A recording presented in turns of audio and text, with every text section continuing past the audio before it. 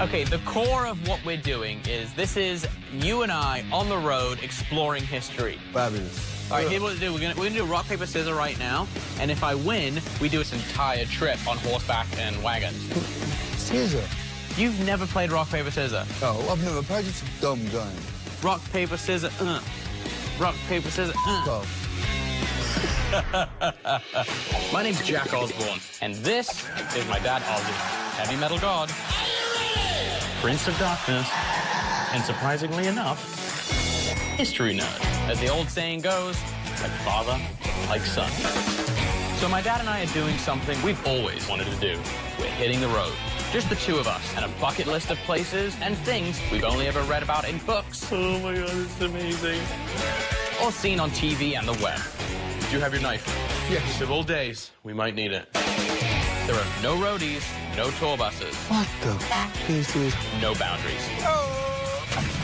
Welcome to Ozzy and Jack's World Detour. Let's rock and roll.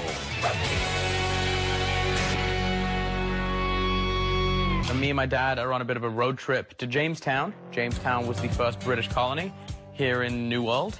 In doing research, I found that there were four Osbournes living in Jamestown or migrated to Jamestown from Great Britain around 1630. So I kind of think that we could have maybe had some ancestors there. So that being said, onward for the British Empire. Hello. Howdy. Jack. How's your night? Good, good.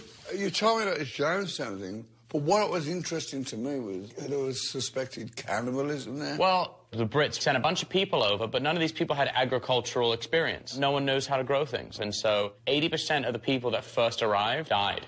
And because they weren't getting supplies and they had a couple brutal winters and they couldn't grow a lot of things, they ate the farm animals and then the pets and then each other, supposedly. People were cannibalized. Yeah, right behind you here uh, is an open cellar that's been reopened by us. And uh, what we found in, in one of the layers in there was a, a mutilated skull, human skull, uh, and a severed leg bone. Wow. Turned out to be a 14-year-old English girl. There was, So was she dead when when the cannibal? was yeah, she wasn't killed for it. Uh, you could tell from the forensic, the way the cuts were on the skull, uh, that she wasn't moving around. So it was very desperate time. Yeah. I bet. I mean, yeah.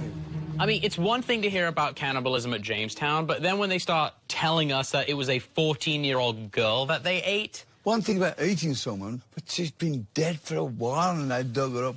Oh. Yeah, I mean, it's pretty crazy to think that they went from like 300 people down to like 60. It must have been like an all you can eat buffet down there.